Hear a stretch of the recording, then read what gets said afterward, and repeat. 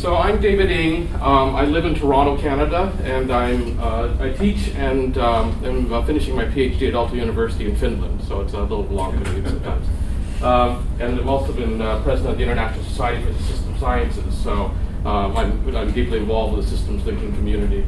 Uh, this is a continuation of work that I presented last year at PURPLSOC and also uh, the year before at PLoP.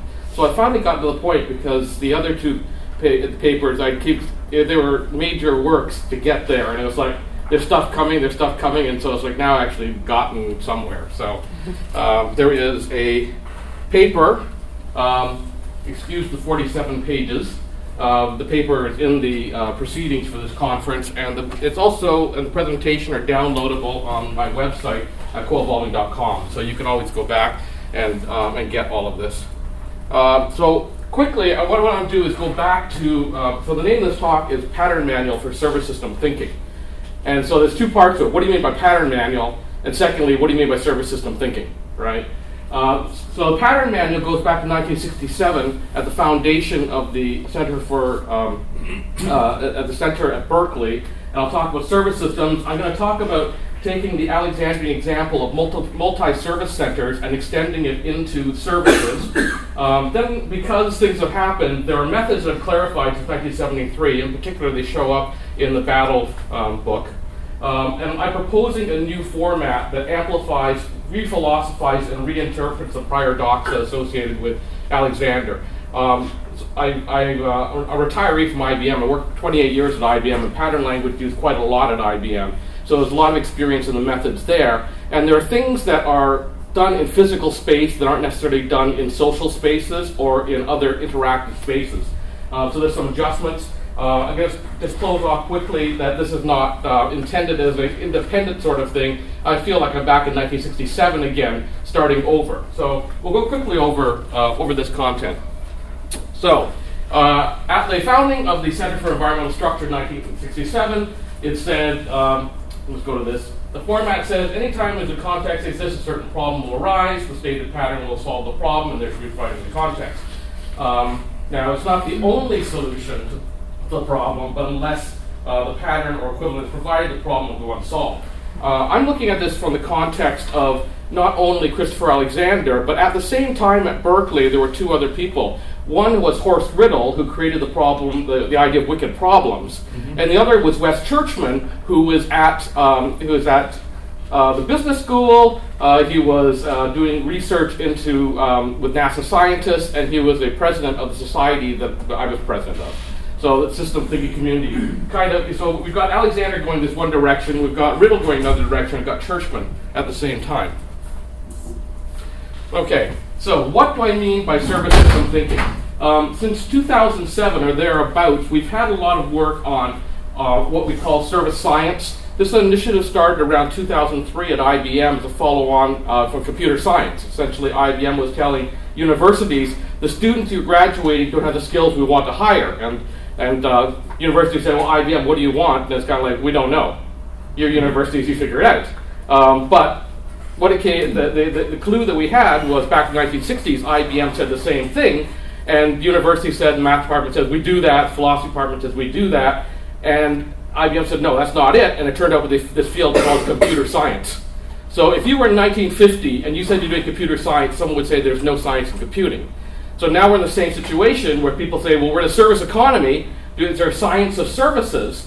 And IBM is saying, well, no, there is a science of services. We're at the same point that we were in computer science in the 1960s. So since then, um, since 2007, there's been this idea of service science. There's some uh, definitions here. Um, the key point is that service systems can be defined as a dynamic value co-creation, configuration of resources, people organization, all sort of stuff.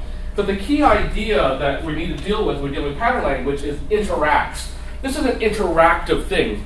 So if you're looking for services, so you take Google Docs, okay? Um, you interact with that. It's not like a building. It doesn't exist anywhere. So how is it different when you're when you're looking at something that's uh, that's non tangible? And there's a whole series of literature in services that's kind of culminated, and, and there's now there's journals on service science.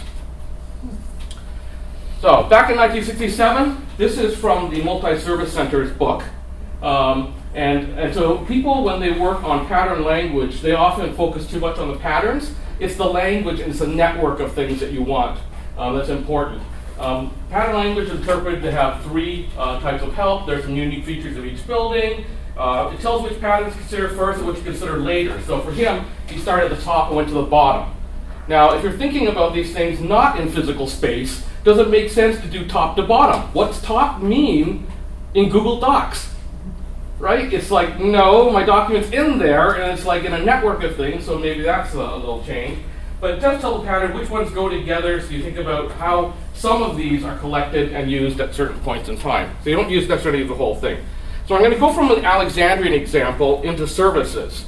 Uh, so in 1979, and this is uh, Timeless Way, I think, um, each pattern uh, has, so we have a rule, context, system of forces, configuration. So, so the simplified version is solution, problem, context, but actually you start working on it, it goes context, system of forces, which a lot of people have problems understanding within the system of forces, and then configuration. Okay, there are three examples, and these are in the paper. Um, and so uh, the multi-service centers, this was an, uh, a, a, community center in Brooklyn in 1967 that was being constructed. I've taken three patterns out of it. Um, let me, because you can't read this because it's small, I actually picked one of them so I can talk about how we do this. Pattern 32 was child care position. So you have people who are homeless, they're coming into a service center for um, uh, psychiatric services, medical services, social services, these sorts of things. There's a child care position because they have kids.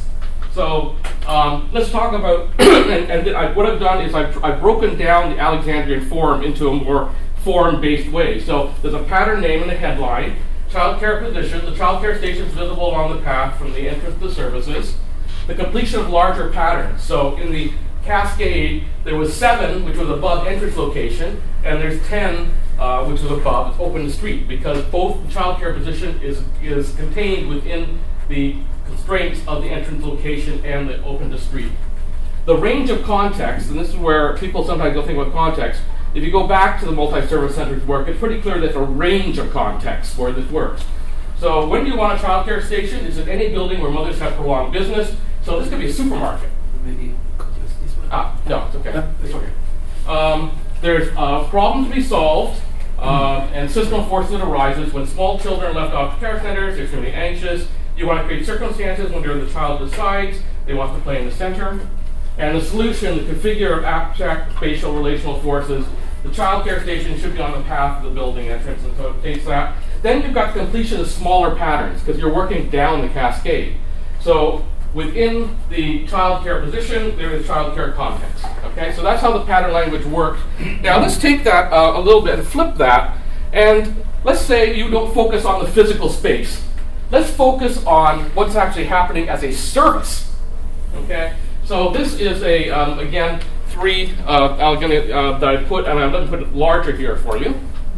So the proposed service looking pattern is um, is like this. So I've taken the child care position and said, let's look instead at the service. The service would be minding children. Okay, I'll call that the pattern name. Um, but divide this off into three parts. The voices on issues, which is the who and the what, the affording values, which is how and why, the spatial temporal frames, which are where, when and where. So um, if we state this, the voices on the issue, so you have an issue of minding children, and how do you satisfy that? For a client, what services are available to me now or on appointment? For a parent, what do I do with my kids when I'm busy? For a child, what do I do with my parents? Now, the other thing I'm, I'm going to go back to the slide a little bit is that these are not one to one. And so here I have three different services, and this one bleeds over this one, and this one bleeds over this one. Okay, so there can be a many to many relationship down here. Um, the how and the why, affording values. Uh, what are the values? Leaving a child in a supervised play area so the whereabouts are known, availing distractions for toddlers routines, so coming to the parents less mature. And the spatial temporal frames, um, these are not physical frames. These are the are, are um, human-centered sorts of. So, like one of the things is about the perception of time. We're not talking about clock time. We're talking about human time. So, five minutes when you don't know where your child is is a really long time, right? Uh, facilities and programs are known to both children and parents in advanced appointments. You have the containing systems. So the containing systems for minding children, there's an extended family, schools, and community workers. So the multi-service center doesn't necessarily need to take care of them. It's a school program, and they're in school, and they take care of the minding children. The containing contained systems could be other parents in the multi-service center. So that just arises because you show up and there are other parents there. So there's, a, again, the idea of, of larger and smaller systems. Now, mapping these, so I'm giving you an example. Um, I, I, I, I, these, the, here's the Alexandrian orientation. These are for production systems.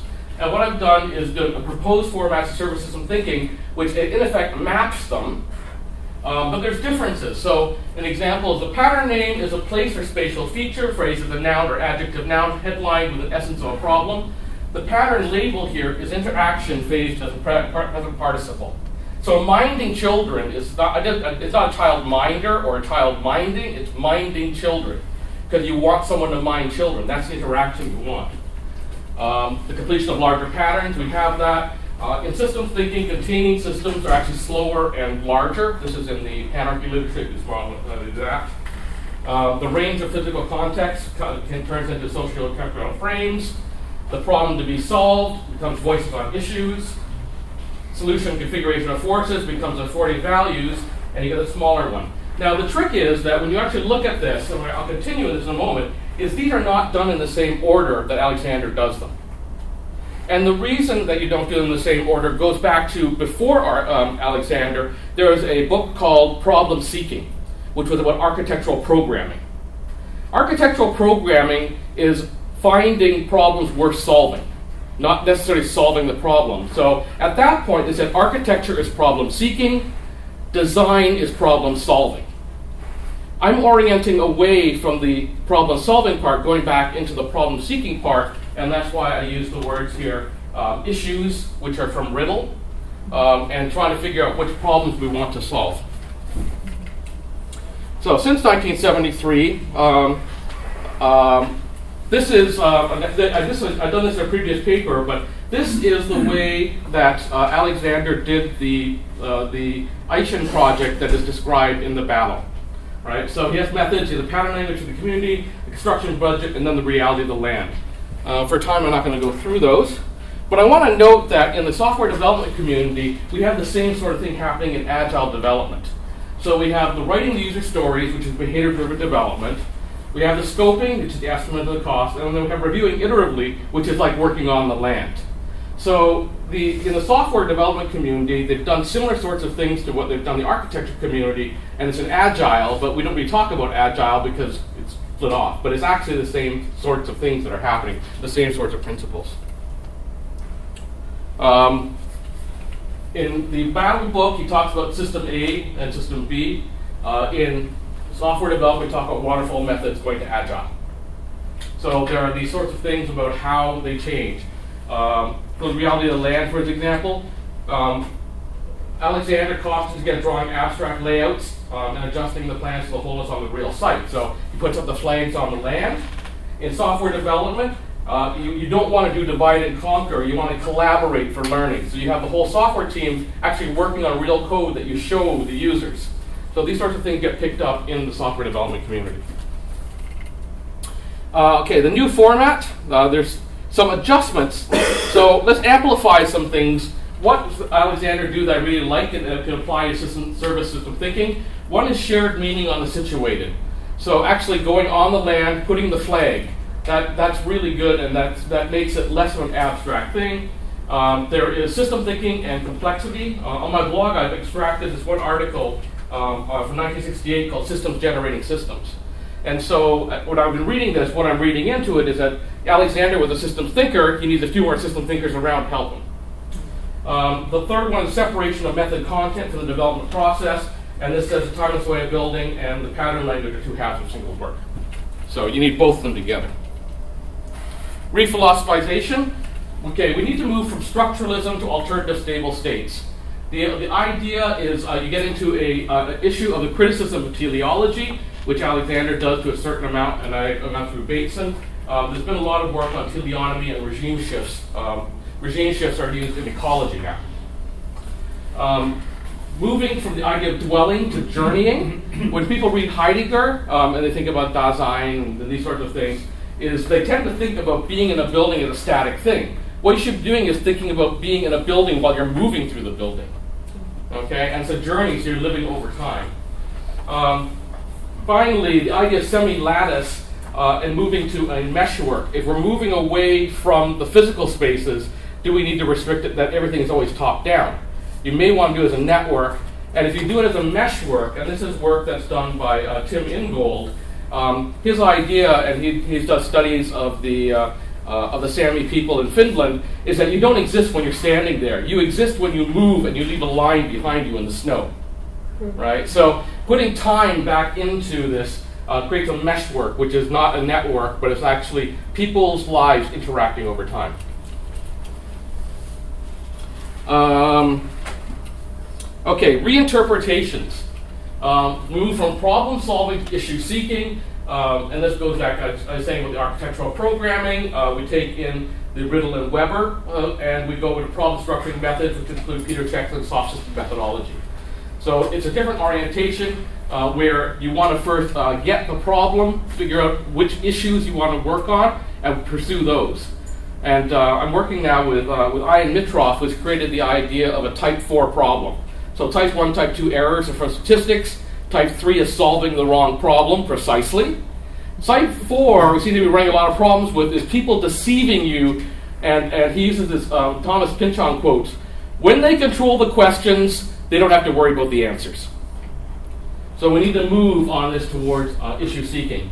Secondly, moving from quality wholeness to interactive value. Uh, this is why the paper is so long, because I'm down in reading uh, Zen and the Art of Motorcycle Maintenance and things like this.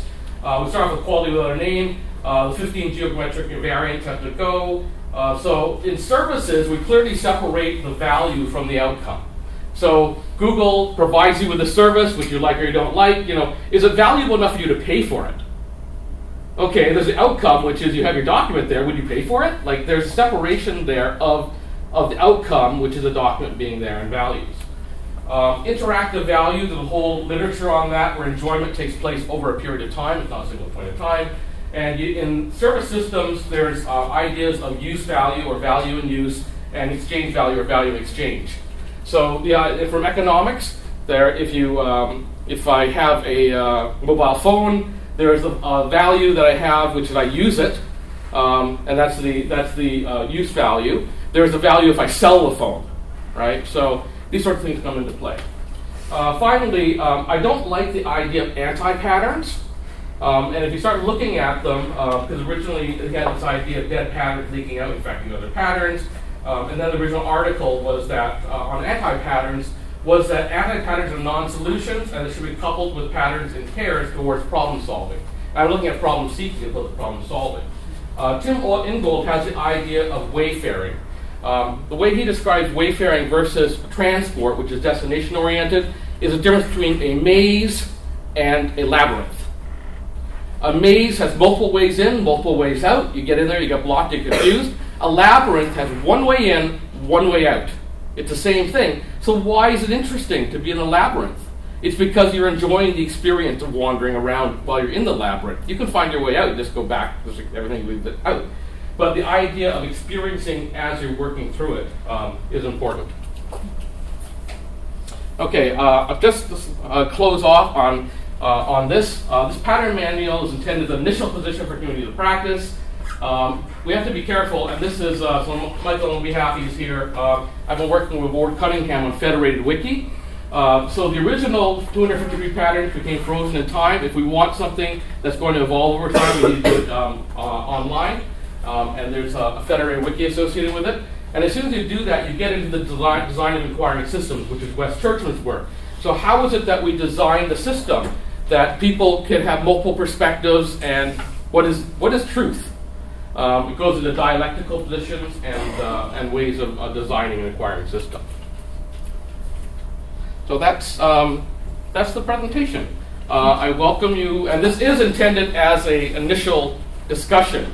Um, so it's a position. The, the, the net is that um, Alexander has been oriented towards production, okay, and a production system. But if you look at today's economy, 70% of the economy is service. So, what are we doing about that? Thank you.